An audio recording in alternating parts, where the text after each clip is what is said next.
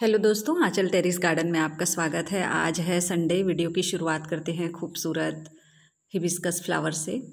ये वही वाला प्लांट है जिसे पिछले मानसून मैंने रोड साइड घर से लाकर लगाया था। चार पाँच प्लांट इसके रेडी हो चुके हैं और फ्लावरिंग भी शुरू हो गई है। कई फ्लावर्स दे चुका है ये गुड़हल का प्लांट।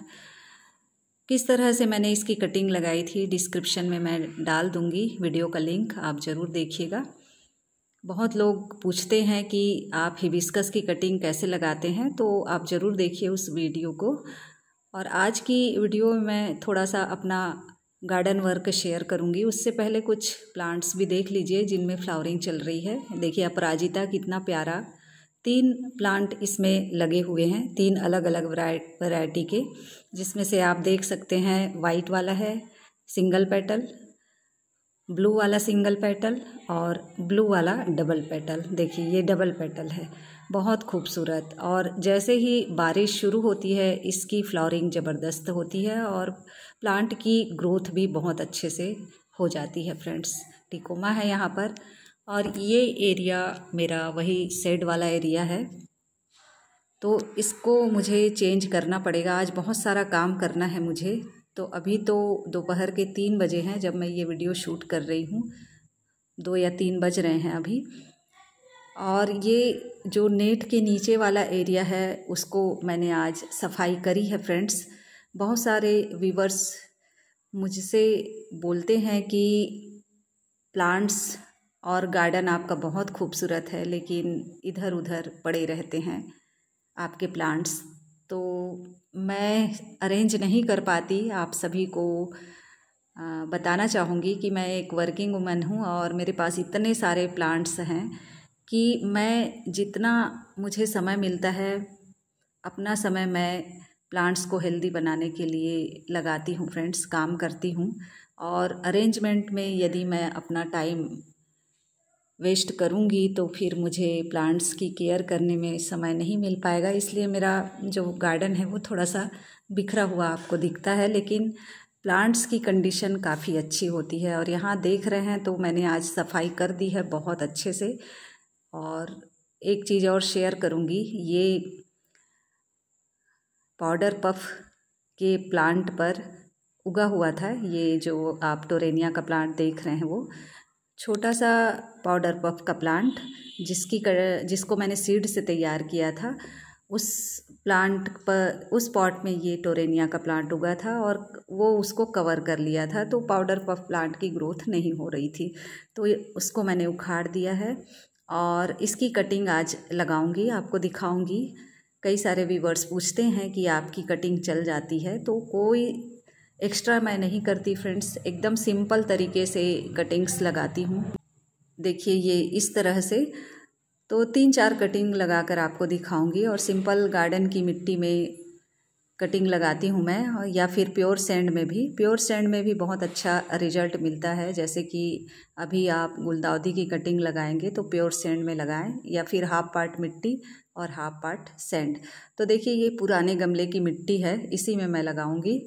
और आप टोरेनिया के प्लांट को देखते, देख सकते हैं कि इसमें रूट्स रहते हैं फ्रेंड्स इसके जो नोड एरिया है, वहाँ से रूट्स निकलते हैं बारिश के दिनों में.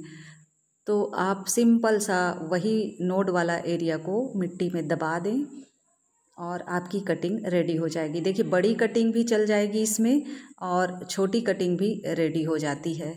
मैं आपको दिखाती हूँ, छोटी कटिंग भी लगाकर यहाँ से और मुझे कटिंग लगाने की इसकी ज़रूरत नहीं पड़ती क्योंकि ये सीड से मेरे गार्डन में उगते रहते हैं। इसके सीड गिरे रहते हैं मिट्टी में और ढेर सारे ढेर सारे प्लांट बनते रहते हैं पॉट में उगते रहते हैं। कोई दूसरे फ्लावर प्लांट के पॉट में उगते रहते हैं।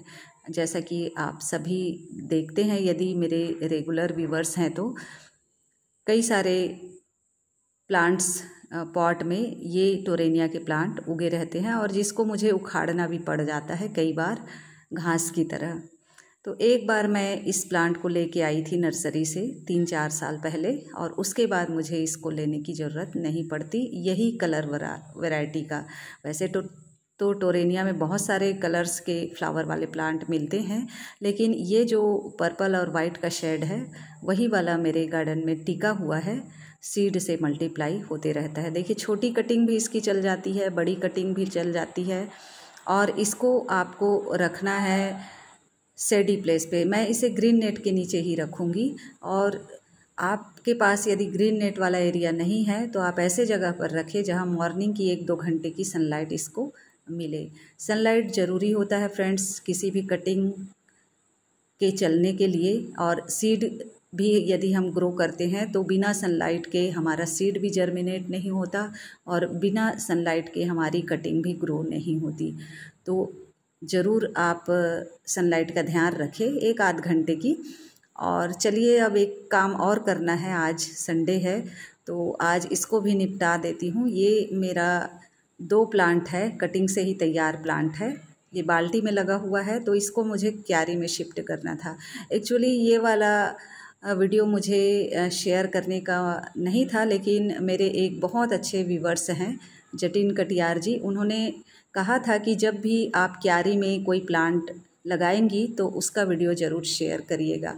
तो आज मैं दो प्लांट लगाने वाली हूँ क्यारी में। ये है पारिजात। ये भी कटिंग से रेडी हुआ है। देखिए, ये बारह इंच के सीमेंट के पॉट में लगा हुआ था। इसका एक और प्लांट है टेरिस पे।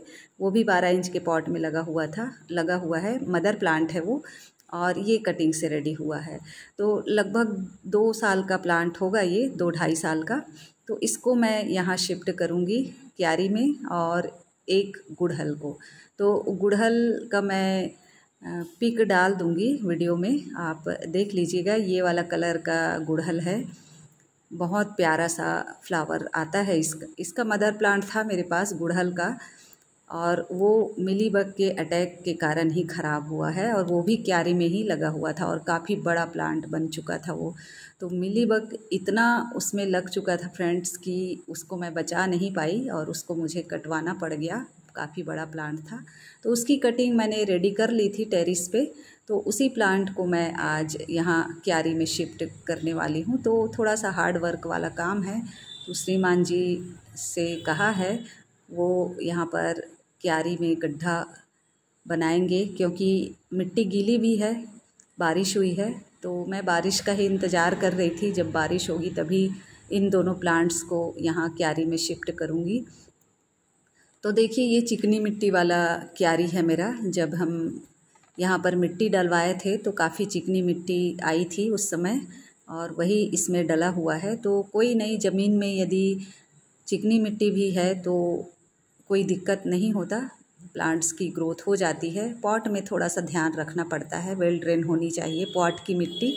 और ज़मीन में तो किसी भी तरह की मिट्टी में प्लांट्स अच्छे से सरवाइव कर जाते हैं। तो श्रीमान जी से कहा मैंने तो गड्ढा बना रहे हैं यहाँ पर। थोड़ा सा चिकनी मिट्टी भी है और मिट्टी गीली भी है तो मुझसे नहीं हो पाता। और अच्छे से यहाँ पर गड्ढा करना है।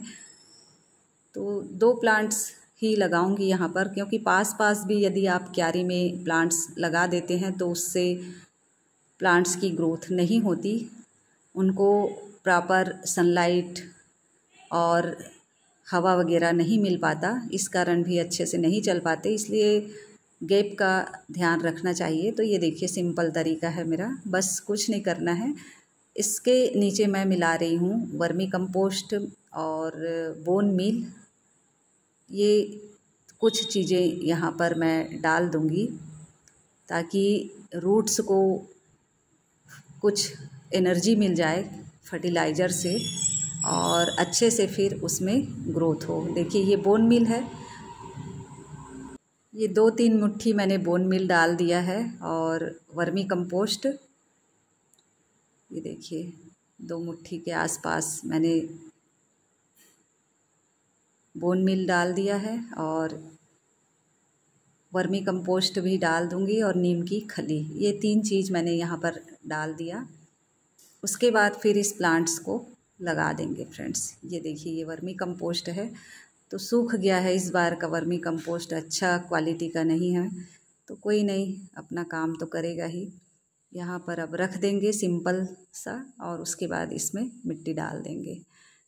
एकदम सिंपल तरीके से। उसके बाद फिर इसकी ग्रोथ बहुत अच्छे से होगी। ज़मीन में वैसे भी प्लांट्स की ग्रोथ अच्छे से होती है। ये पारिजात बहुत ही खूबसूरत फ्लावर देने वाला प्लांट होता है। रात में इसके फ्लावर खिलते हैं, खुशबू भी बहुत अच्छी आती है और सुबह होते ही इसके जो फ्लावर होते हैं वो झड़ जाते हैं। और मेडिसिनल वैल्यू भी है और धार्मिक इसका महत्व भी है पारिजात के फूल का। चलिए एक प्लांट तो लग गई, अब दूसरा प्लांट भी लगा देते हैं। ये देखिए सेम चीज़ इसमें भी डाल रही हूँ मैं।